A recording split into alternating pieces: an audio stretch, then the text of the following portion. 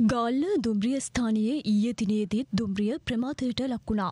දුම්රිය රියදුර හිඟ හේතුවෙන් මෙම තත්ත්වය ඇති වූ බවයි අප වාර්තාකරු ප්‍රකාශ කළේ. කෙසේ වෙතත් අද දිනේදී සාමාන්‍ය ආකාරයෙන් දුම්රිය ධාවනය වූ බවයි වාර්තා වන්නේ. මේ අතර කොළඹ කටුවේ සිට බදුල්ල දක්වා ධාවනය වූ මගේ ප්‍රවාහන දුම්රිය ඊයේ සවස පිළිපැනීමකට ලක්ව තිබුණා. ඒ කොටගල සහ තලව කැලේ දුම්රිය ස්ථාන දෙක අතර එකසිය දොළහා සැතපුම් කනුව අසලදී. මේ හේතුවෙන් උඩරට දුම්රිය මාර්ගයේ මාර්ගයේ ගමනාගමන කටයුතු පැය හතරක පමණ කාලයක් ප්‍රමාද වී තිබෙනවා.